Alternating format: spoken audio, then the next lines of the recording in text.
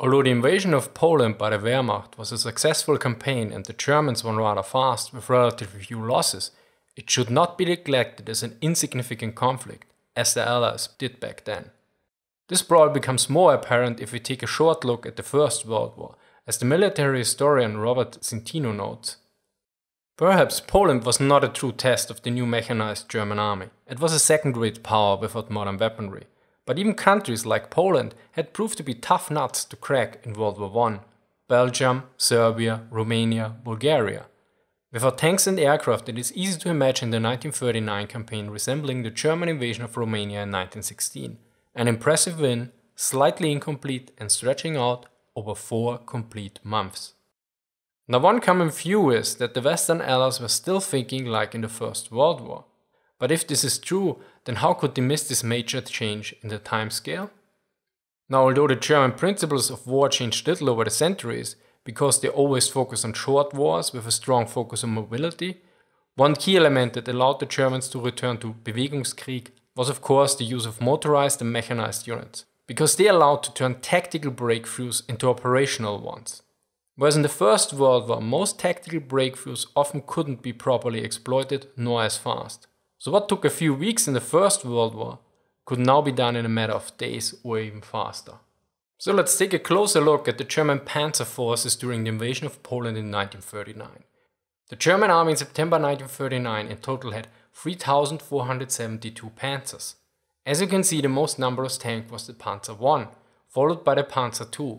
Both of these were intended for training purposes, but not combat, whereas the other tanks were quite low in numbers. Note that the Panzer 35T and 38T were of Czech production, and the Panzerbefehlswagen was a command tank based on the Panzer I. Yet what is probably more interesting is how many panzers were part of the Feldheer, the field army.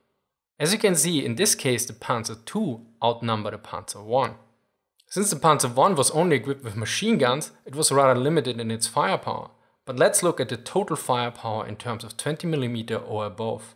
In total this would be 1151 20mm guns, 308 37mm guns, and 197 short-barreled 75mm guns. Now, why are these numbers relevant? Although the 37mm tank gun was sufficient in dealing with the few Polish tanks encountered, it was rather unsuited for dealing with anti-tank guns and dug-in infantry.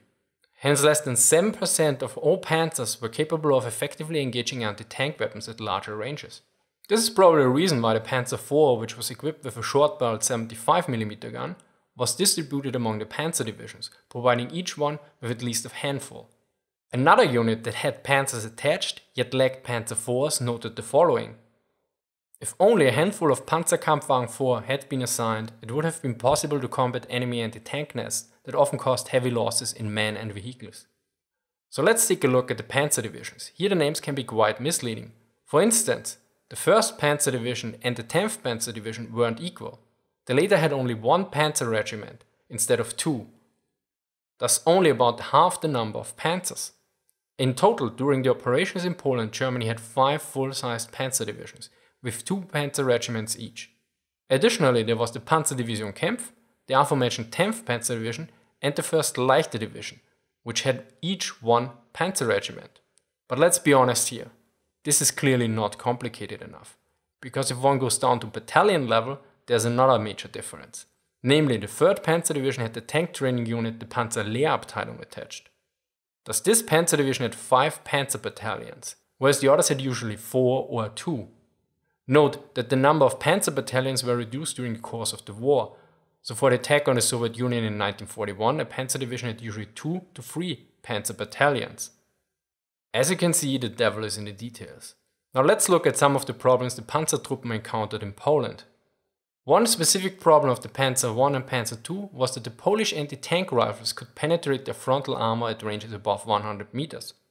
Note that this mainly refers to the Panzer I and the Panzer II variants which had a 13 to 14.5 mm frontal armor. For the Panzer II there were also variants with 30 mm frontal armor that were less susceptible to AT rifle fire. Another major issue was the lack of proper coordination between the panzers and the infantry. Yet quite often such shortcoming had limited impact to the lack of weaponry and equipment of the Polish forces. As an after-action report of the Panzer Regiment 8 points out, the attack was not coordinated between the individual arms. In addition, the marshy area in the front of the bunkers was not scouted to determine whether it could be crossed by the panzers. Reasons for success? No enemy artillery or minefields. The bunker crews didn't count on German determination. Lessons? While it succeeded once, it is probably not repeatable. This report was part of a questionnaire after the campaign in order to learn from the experiences. This also shows that the Germans took a sober assessment of their various shortcomings and bad practices. Now let's look at the losses, which were quite extensive considering the under-equipped Polish forces and the conditions the Polish forces were facing.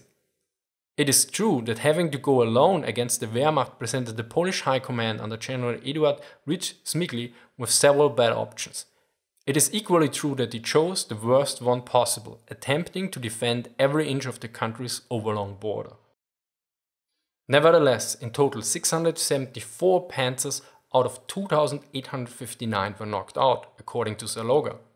This means about 23.6% losses, of which 217 were total write-offs, which means 7.6% lost. Yet another author, Jentz, puts that number at 236 write-offs, which means 8.3%. Additionally, he provides a type of panzers which were exactly lost.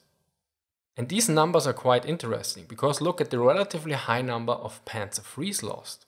Now here are the initial numbers of the field army again for comparison.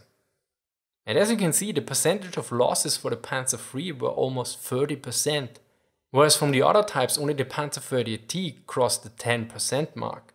Sadly I didn't find any information why exactly the Panzer III losses were so high in comparison to the other tanks. So if you know why, please let me know in the comment section ideally with a source. Special thanks to Max Ravenclaw for support about the Panzer II frontal armor issue. As always, sources are linked in the description. If you want to learn more about the invasion of Poland, check out this video from last year. Or maybe you're more interested in the current assessment of the US and Chinese Navy capabilities, then check out this video. Thank you for watching and see you next time.